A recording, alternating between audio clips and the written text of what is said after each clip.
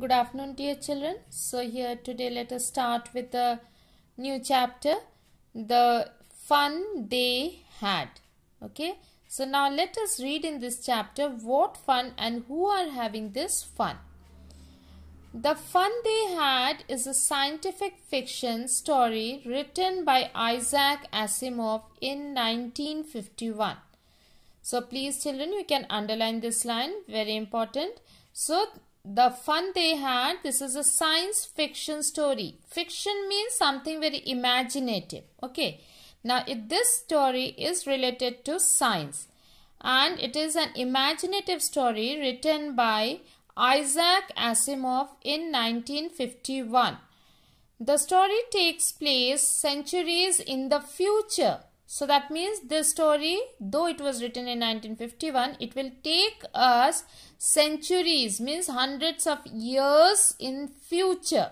So where, what the situation will be in those times, where teaching is done by robots with vast information stores.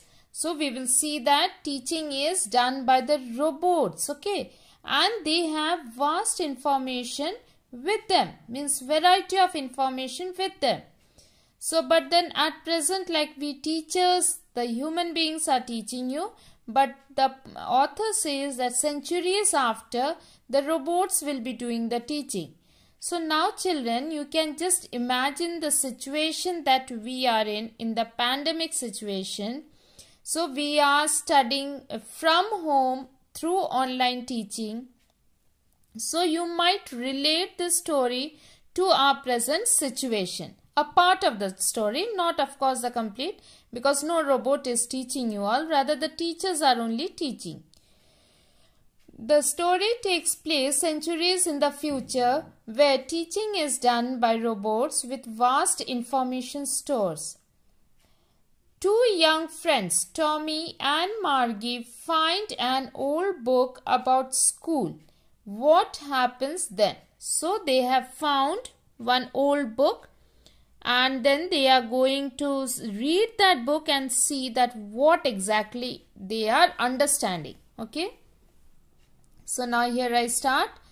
Margie even wrote about it that night in her diary. So that means, so this is a sort of diary entry she is writing. Okay on the page headed 17th May 2157. Please uh, children note down the year what which year 2157 the story is taking place. She wrote today Tommy found a real book. Now what is this real book they are talking about? Let us see. It was a very old book Margie's grandfather once said that when he was a little boy, his grandfather told him that there was a time when all stories were printed on paper. Now you just imagine these children are in the future and that is centuries after. So the book that we all have at present, that uh, those type of books, it is something different for them so they had found such a means Tommy had found uh, such type of book which they are terming it as real book. It was very old book. Margie's grandfather once said that when he was a little boy, his grandfather told him that there was a time when all the stories were printed on paper. So that means Margie's grandfather's grandfather when he was a little boy that time he had told that this uh, Margie's grandfather once told that when he was a little boy and then uh, that grandfather's grandfather had told him that long ago stories were printed on paper and that was in the form of a book so this is a very surprising thing for these children because they have never seen a book till now. And so to get a book like this that all everything is printed on the book so that is a surprising thing for these children. They turned the pages where which were yellow and crinkly. So since the book had become very old, so centuries old, so it had turned yellow and crinkly. You must have seen your grandmothers or grandfathers some books or the mm, the God's books, those Bhagavad Gita or Bible which are very old, they also must have turned yellow pages and then they must have turned crinkly. Crinkly means very easily they are tearing off or rather breaking off. And it was awfully funny to read words that stood still instead of moving the way they were supposed to. So that means for them they have never seen any book in their life and now they are seeing some words are printed and they are still they are not moving because these children are used to the computer screen where the words keep on moving or where the sentences or the lines they keep on moving but here in a book it is only still permanent. And then they are not moving. So that was a surprising thing for this Tommy and Margie. So real wor read words that stood still instead of moving the way they were supposed to. On a screen you know. So that means they are used to the reading on a screen. And then when they turned back to the page before it had the same words on it that it had when they read it the first time so they are surprised that the words which they had read just now and then turned the page and if they turn back it again then they can find the same words which they had read and at the same particular page. So nothing was moving. So that was a surprising thing for these children. Geese, said Tommy, what a waste. When you are through with the book, you just you just throw it away. So now here Tommy says that this kind of book is a waste because when I have read the story, then what is the use of that story? I can throw it away. So why to keep it like that? So he is saying that it is just a waste of the pages. Our television screen must have had a million books on it and it's good for plenty more. I wouldn't throw it away. So he is saying that our computer or the television screen had millions of books because everything is stored in that computer and it's good for plenty more. That means more new books can be stored in that computer. I wouldn't throw it away. So then i cannot throw those books and i wouldn't like to throw it away also. But these handwritten these books which are printed after reading once it can be thrown off. Same with mine said margie she was 11 and hadn't seen as many telebooks as Tommy had.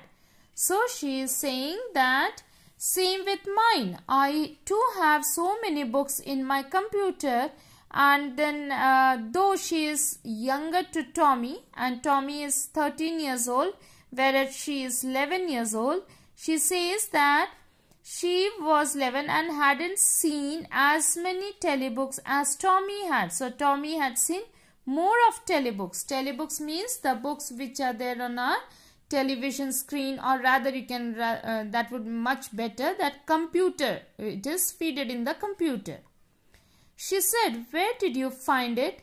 So now the book which they are holding the real book so now Margie is interested and she asks Tommy that where did you find this book? So then Tommy answers that in my house. He pointed without looking. So when he said this, he did not even look at Margie. So he is more interested in reading the book.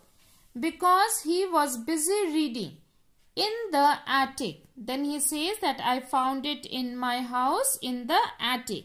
Now what is an attic? It is the room below the roof of the house and it is normally used to store the things whatever are not so necessary.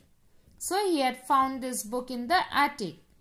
What's it about? So Margie asks, uh, this book is about what? So then Tommy says it is about school. Margie was scornful. Scornful means disrespectful. She did not like the way actually Tommy was speaking to her. So she became little disrespectful and then she's saying school. So now here she's surprised that what is this school?